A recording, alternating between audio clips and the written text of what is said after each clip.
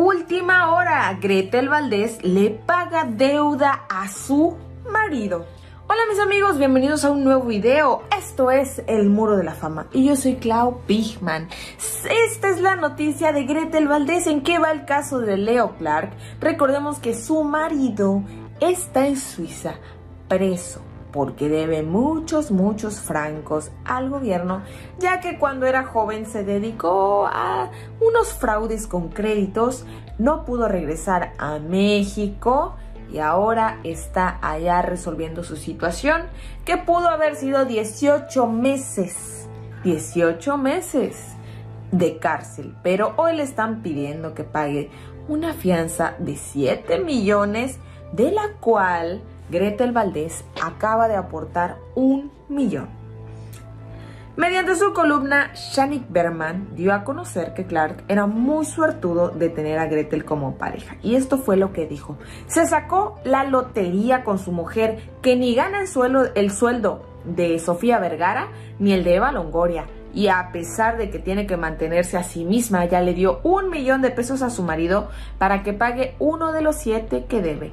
Su mujer lo apoya moral y económicamente en esta la que todos los gatos son pardos.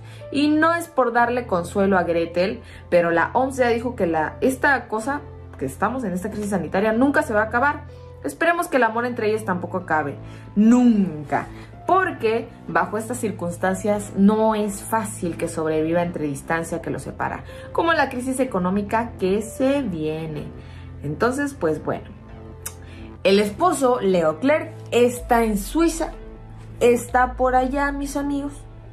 Tiene que pagar 7 millones que debe.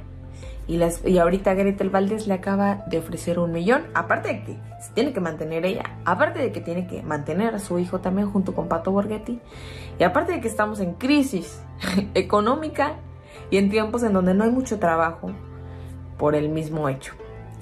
La verdad es que es una gran prueba de amor. Sin duda siempre se ha mostrado al margen Gretel Valdés con esta situación de Leo Clark. No le dio la espalda. Leo le agradeció mucho en una carta que escribió Ventaneando. Dijo, me, me, saqué la lotería, literal. Porque no cualquiera da segundas oportunidades. Y Gretel Valdés dijo, todos merecemos una segunda oportunidad. Hoy está buscando la manera en que su marido pueda regresar aquí a México por lo menos no está en prisión, está en Suiza cuidando a su mamá que también está muy enferma. Pero bueno, esperemos esta situación pronto se aclare. ¿Por qué? Porque Leo Clark está arrepentido. Arrepentido, mis amigos, de lo que hizo. Dijo, pues fueron cosas de inmadurez, de, de la juventud. Él se dio unos ya grandes viajes de sueños con su ex esposa, la que era antes de Gretel Valdés. Gretel dijo que sí sabía de esta situación, que le había comentado como hace dos años más o menos, entonces, pero bueno, ya no es la misma persona que cometió ese delito, pero hoy tiene que pagar. Leo Clark no piensa huir y dijo, yo voy a pagar el daño que haya hecho a mi nación con mis actos. Entonces ya sea que lo tenga que pagar en prisión o lo tenga que pagar con dinero.